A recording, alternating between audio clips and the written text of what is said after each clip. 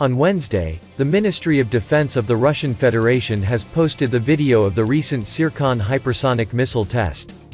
In a video posted by Russian Mod said that it is the launch of a new Tsirkon hypersonic cruise missile from Admiral Gorshkov frigate. Yesterday, at 7.15 am, the frigate admiral of the fleet of the Soviet Union Gorshkov test fired for the first time a Tsirkon hypersonic missile against a sea target located in the Barents Sea as part of flight tests, Chief of Russia's General Staff Army General Valery Gerasimov said. As the Chief of Russia's General Staff said, the tasks of the launch were fulfilled, the test fire was recognized as successful and the missile was registered to accurately hit the target. The missile flew to a range of 450 kilometers, climbing to a maximum altitude of 28 kilometers. The flight lasted four and a half minutes.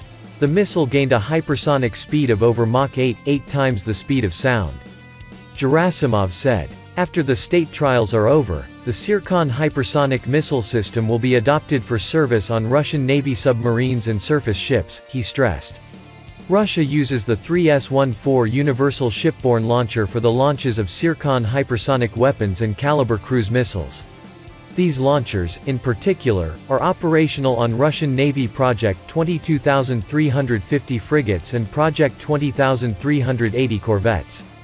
Russia's defense ministry plans to continue the flight tests of the Tsirkon shipborne hypersonic missile system, Chief of the Russian General Staff Army General Gerasimov said. The flight tests of the Tsirkon hypersonic missile will be continued, the general said.